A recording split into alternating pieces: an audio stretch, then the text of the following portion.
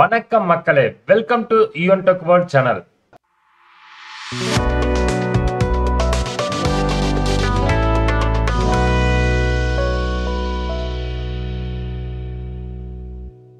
இன்னைக்கு நம்ம இந்த வீடியோல பார்க்கக்கூடிய முக்கியமான இன்ஃபர்மேஷன் யாருக்கானது அப்படின்னு பாத்தீங்கன்னா எலக்ட்ரிக் வாகனம் வாங்குவதற்கு ஒரு சூப்பரான அசத்தலான திட்டத்தை மத்திய அரசு கொண்டு வந்துக்கிறாங்க இனி வாங்கக்கூடிய வாகனம் குறைந்த விலையிலும் மானியத்துடனும் வாங்கலாம். ஸோ அது என்ன அப்படிங்கிற இன்ஃபர்மேஷன் தான் இந்த வீடியோவில் நம்ம பார்க்க போகிறோம் வீடியோவை பார்க்கறதுக்கு முன்னாடி நீங்கள் நம்ம சேனலுக்கு ஃபர்ஸ்ட் டைம் வந்தீங்கன்னா சேனலை மறக்காம சப்ஸ்கிரைப் பண்ணி பக்கத்தில் இருக்கிற பெல் ஐக்கன் நம்ம மறந்துடாதீங்க. அது இல்லாமல் வீடியோவை ஸ்கிப் பண்ணாமல் கடைசி வரைக்கும் பாருங்க. அப்பதான் நம்ம சொல்கிற இன்ஃபர்மேஷன் உங்களுக்கு யூஸ்ஃபுல்லானதாக இருக்கும்.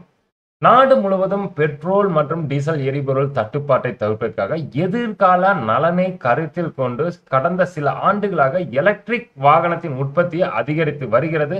மத்திய அரசு பாத்தீங்க அப்படின்னா எலக்ட்ரிக் வாகனம் ஊக்குவிப்பு திட்டம் ரெண்டாயிரத்தி இருபத்தி நாலு என்ற புதிய திட்டத்தை ஏப்ரல் ஒன்று அன்று தொடங்கி இருக்கிறாங்க. இந்த திட்டத்தின் மூலமாக ஜூலை மாதம் இறுதி வரை ஐநூறு கோடி மதிப்பில் எலக்ட்ரிக் வாகனங்களுக்கு மானியம் வழங்கப்பட உள்ளதாகவும் இதற்காக மூணு புள்ளி முப்பத்தி மூணு லட்சம் எலக்ட்ரிக் இருசக்கர வாகனங்களுக்கு மானிய தொகை வழங்குவதற்கு டார்கெட் வச்சிருக்கிறதா சொல்லிக்கிறாங்க.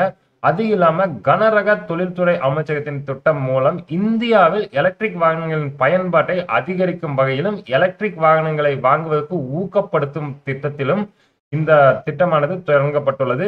இந்த திட்டத்தின் மூலம் பெரிய மூன்று சக்கர வாகனங்களுக்கு அதிகபட்சமாக ஐம்பதாயிரம் ரூபாய் மானியம் வழங்கப்படும் என்றும் எலக்ட்ரிக் ஆட்டோ மற்றும் எலக்ட்ரிக் கார் போன்ற சிறிய எலக்ட்ரிக் சக்கர வாகனங்களுக்கு இருபத்தைந்தாயிரம் ரூபாய் வரை மானியம் வழங்கப்பட உள்ளதாகவும் அறிவிச்சிருக்கிறாங்க எலக்ட்ரிக் வாகனங்கள் வாங்க அந்த ஷோரூம்ல கண்டிப்பா இதுக்குண்டான மானியத்தை தெரிந்து கொண்டு அதுக்கப்புறம் வண்டியை புக் பண்ணுங்க. இவ்வளவுதான் நண்பா இந்த வீடியோவில் நம்ம பார்த்த இன்ஃபர்மேஷன் இரு சக்கர வாகனம் மற்றும் மூன்று சக்கர நான்கு சக்கர வாகனம் எலக்ட்ரிக் வாகனம் நிறுவனங்களுக்கு மத்திய அரசின் ஊக்குவிப்பு திட்டத்தின் மூலம் மானியம் தரப்படுகிறது.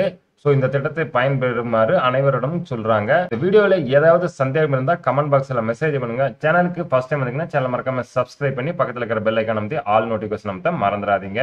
வீடியோவை கண்டிப்பாக லைக் பண்ணி உங்கள் நண்பர்களுக்கும் ஷேர் பண்ணுங்க.